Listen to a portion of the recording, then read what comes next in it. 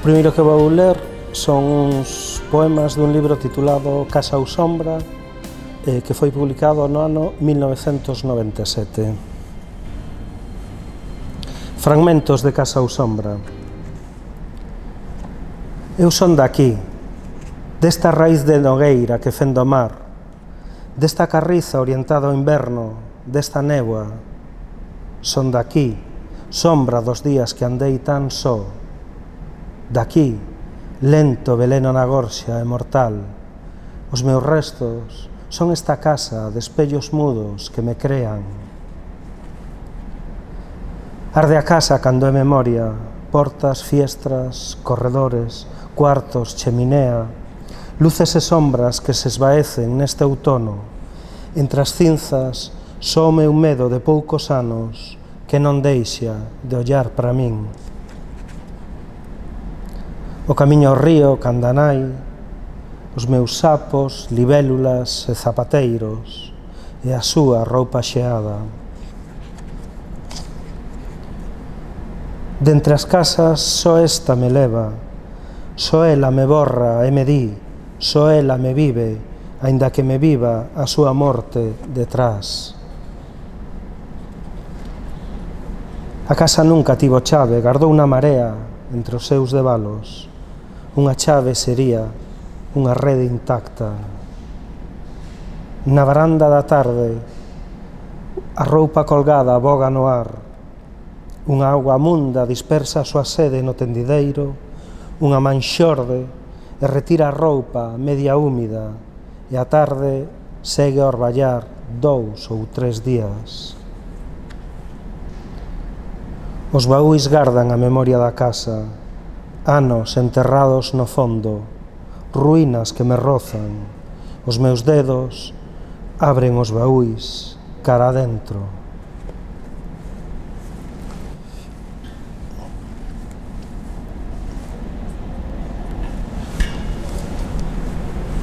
Do libro Migracións, o poema titulado Migracións. Abatidos os corpos, reaparecen vomitados nas praias barridas.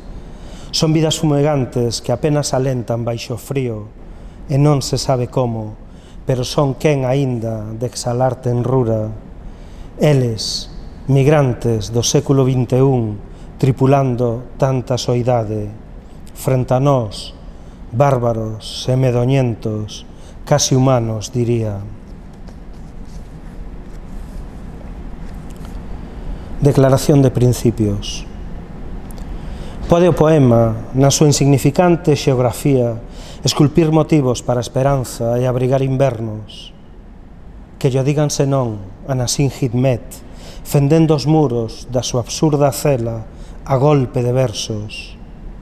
O que acontece é que casi sempre escribimos esgazando a soidade que vive cómplice entre os dedos exiliados e cada poema desprende esa razón desesperada para un adeus. As veces, camarada, a vida cae nos das mans e asita no valeiro flores negras e choven incendios para atrás das nosas gorxas como súbitos solpores e hai un río que nunca deixa de desembocar na soidade. As veces, camarada, a vida é o terrible disfraz con que a morte nos ama de veras para Paco Souto sempre.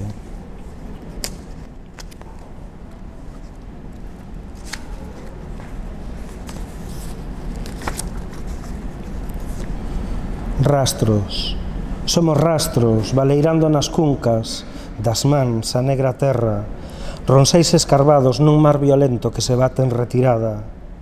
Pero de nós amarán as gazadura, a inextinguível dor de alimentar raíces, amarán a nosa derrota lenta sobre todas as cousas.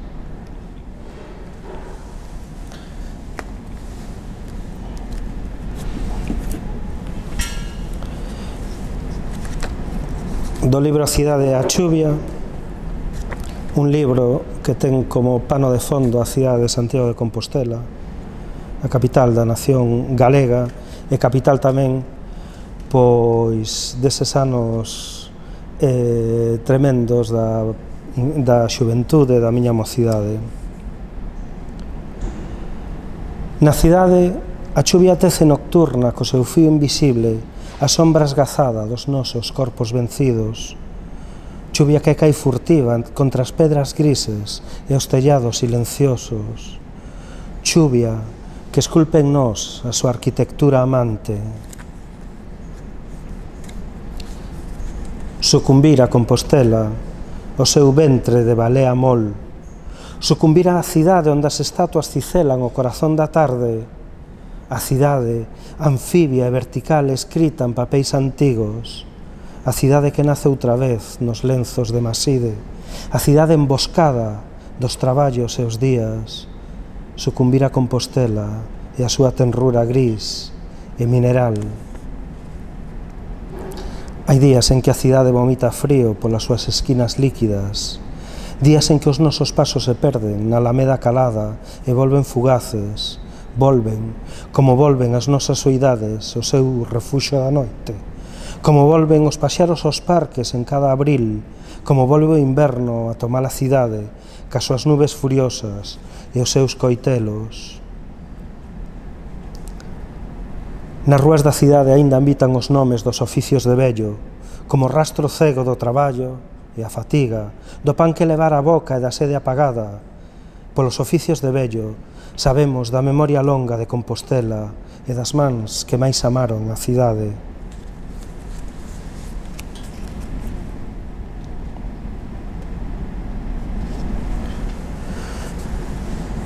E por último, uns, un par de poemas dun libro titulado Patente de Corso, pequeno dicionario pirata, no que xa cambia o ton, porque é un libro pensado para crianzas, para rapaces e rapazas. Burla Negra é o navío, Benito Soto, o capitán, os ingleses que os perseguen nunca saben onde están. Pirata el galego da parte de Pontevedra, valeroso como ningún, mar adentro ou en terra, Foi mariño amotinado sendo case un rapaz, pirata co que ninguén quería bater no mar. Curta foi a súa vida, grande a súa zona foi, non hai porto coñecido que del non saiba o valor.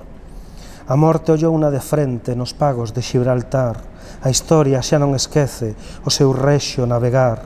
Adeus a Benito Soto, pirata dos arrecifes, a burla negra ainda espera, capitán da súa estirpe.